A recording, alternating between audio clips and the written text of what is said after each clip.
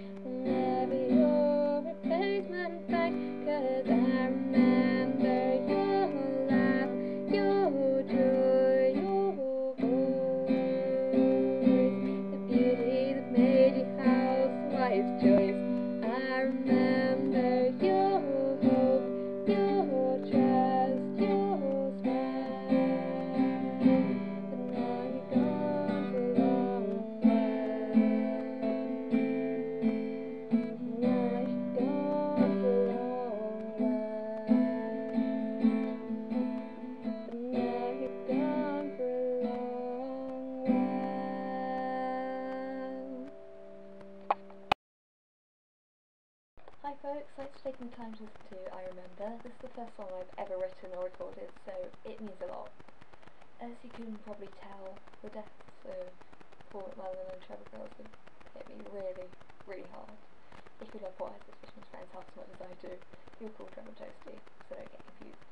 Um, yeah, I wrote this for Paul and Toastie, and I'm sorry it's taken so long yet to upload it. Um, love you all, and my love and hugs to for Isaac. I came down to you last summer, 10th of August. Beautiful evening, it was just absolutely amazing. Um, you didn't deserve this, and I guess you probably don't want to hear this again, you've heard it so much, but I'm really genuinely sorry. If any of you want to make a donation in memory of and Paul, the link is in the description below. I'm going to do a sponsor silence soon, because my mum wouldn't let me donate the refund, refunded money from the concert tickets. I was due to see you up here in Salisbury on the 6th of March. And I've also written a poem, if anyone's interested. The, the second link in the description below. It's just the pure flood of feelings I felt when I heard. Um, I haven't even spelled certificate, so if there's any mistakes, sorry.